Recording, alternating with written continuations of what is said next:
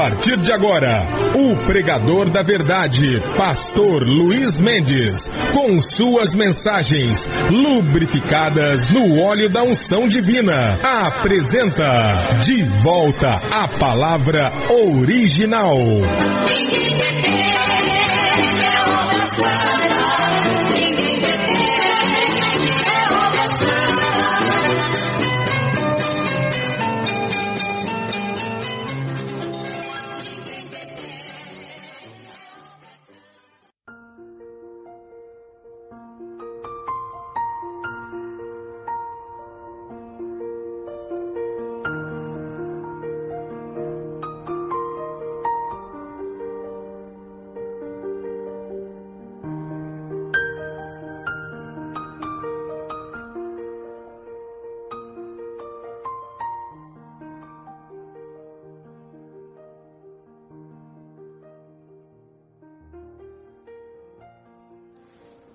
Ouvintes preciosos, lhes cumprimento na paz bendita do Salvador, o Senhor Jesus Cristo.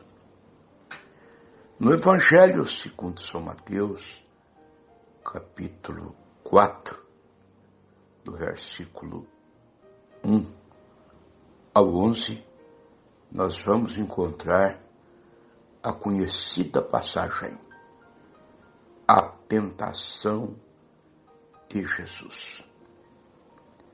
Satanás fez três tentativas ali, porém, todas elas foram frustradas. É bem verdade que Jesus não foi tentado apenas aquelas três vezes.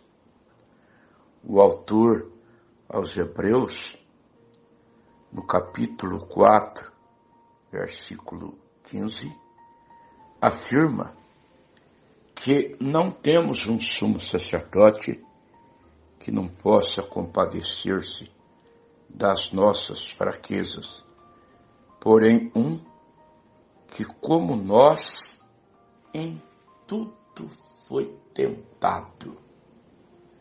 Com uma diferença. Às vezes somos tentados a fazer e fazemos. Jesus em tudo foi tentado, mas não pecou.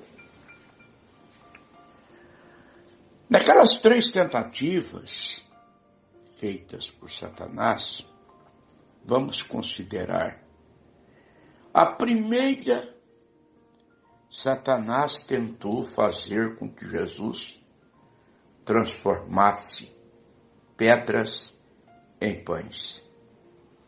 Jesus o rechaça, dizendo que nem só de pão viverá o homem, mas de toda palavra que sai da boca de Deus. Mateus, capítulo 4, versículo 4. Se ele quisesse, ele tinha poder para transformar pedras em pães. Mas ele não tinha que provar nada para Satanás. Satanás lhe disse: Se tu és o filho de Deus, manda que estas pedras se tornem em pães. Repito, ele não tinha que provar nada para Satanás.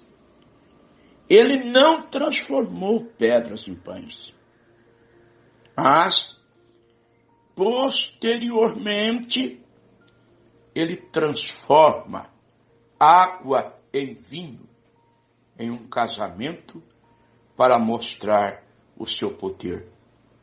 Evangelho segundo São João, capítulo 2.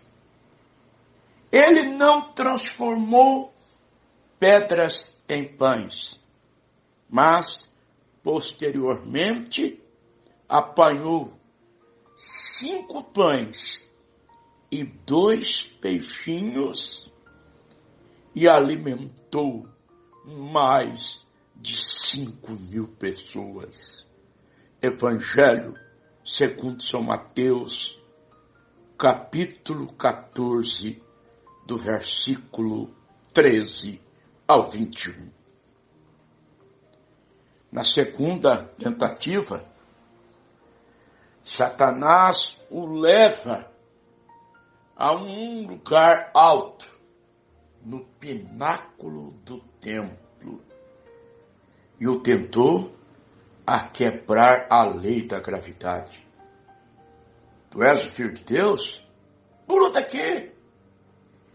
E se tu, escrituras contidas no livro dos Salmos, no capítulo 91, que é o salmo preferido dos evangélicos no sentido protetivo.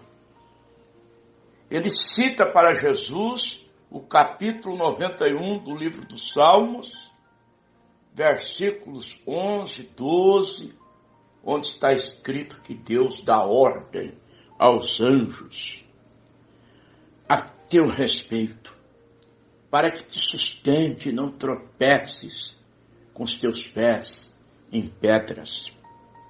Jesus o rechaça, dizendo, está escrito, não tentarás o Senhor teu Deus, porque Deus não usa seu poder para fazer espetáculo, para fazer exibicionismo. Deus usa o seu poder quando há uma necessidade.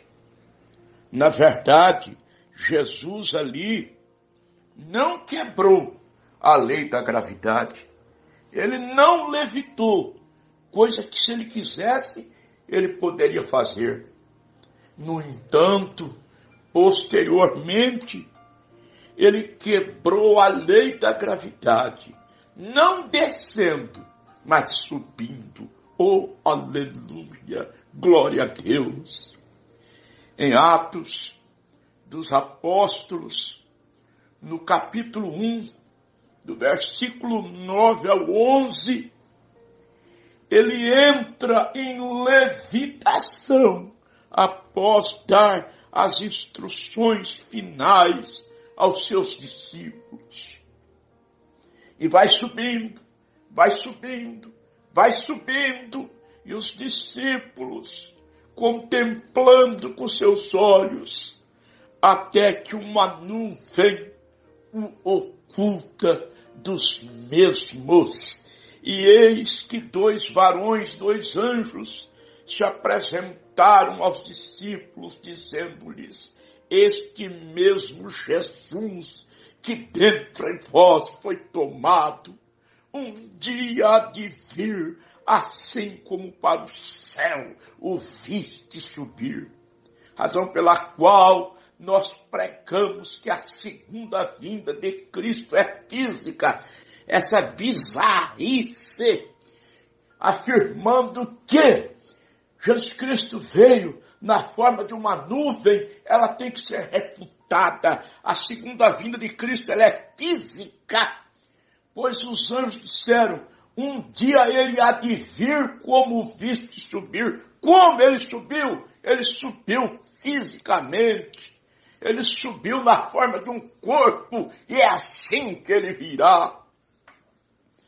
Na terceira tentativa, Satanás, atrevido, cara de pau, ávido por adoração, se achega Jesus e mostra-lhe todos os reinos deste mundo. E lhe diz, tudo isso eu te darei. Se você se prostrar ante mim e me adorar. Jesus o rechaça, está escrito ao Senhor. Deus adorarás e só a Ele darás culto.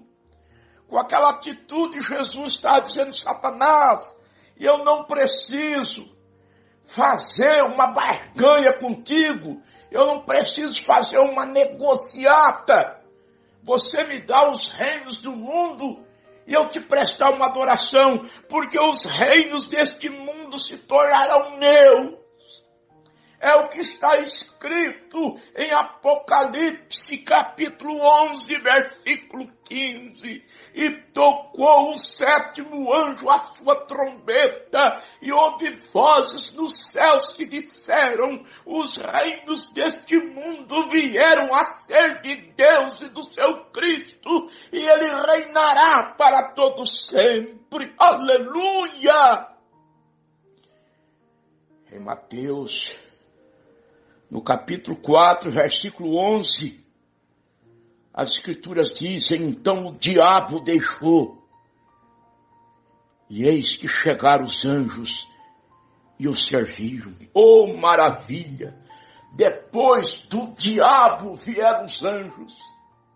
Depois da tentação veio a bênção.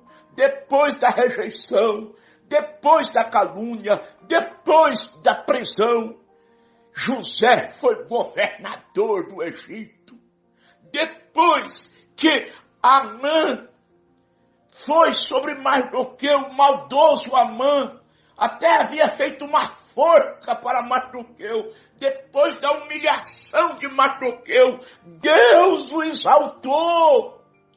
Deus o exaltou e aquela forca feita para Mardoqueu não prosperou. A mãe que foi enforcado nela, cumpriu-se Isaías capítulo 54, versículo 17. Toda ferramenta preparada contra ti não prosperará toda língua que se levantar contra ti em juízo, tu a condenarás. Essa é a herança do servo do Senhor e a sua justiça que vem de mim, diz o Senhor. Depois dessa luta, vem a tua bênção, minha irmã. Depois deste vale, vem o monte. Depois dessas trevas, vem a luz. Depois dessas lágrimas, vem um sorriso. Em nome do Senhor Jesus Cristo, Filho do Deus vivo. Amém.